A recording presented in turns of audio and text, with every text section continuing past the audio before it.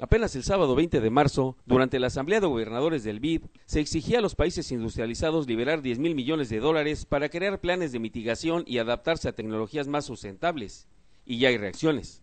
Ese día, el secretario del Medio Ambiente mexicano, Juan Rafael Elvira Quesada, informaba que se negociaban dos tipos de créditos para el problema. El otro era crear un fondo verde para su participación entre los países en desarrollo a partir de 2020. En ese contexto, el saliente secretario de la Convención de la ONU sobre Cambio Climático, el holandés Ivo de Boer, confió en que durante la decimosexta conferencia, en noviembre en Cancún, se acuerde la nueva arquitectura para reforzar la lucha. Pidió a los países construir los cambios de cooperación en la Conferencia Climática de México, pues las promesas globales actuales sobre de emisiones son insuficientes para limitar el calentamiento a menos de 2 grados Celsius. Añadió que la Conferencia de Naciones Unidas sobre Cambio Climático en Cancún necesita poner en operación mecanismos de cooperación efectivos para que el planeta se prepare para los inevitables impactos del cambio climático. De Boer indicó que la Comisaría Europea del Ramo centrará sus esfuerzos en que se alcance un acuerdo ambicioso, pero también realista, y espera que se fije una hoja de ruta para acciones a futuro, menester en el que ya trabaja el Gobierno de México. La próxima ronda de negociaciones del Convenio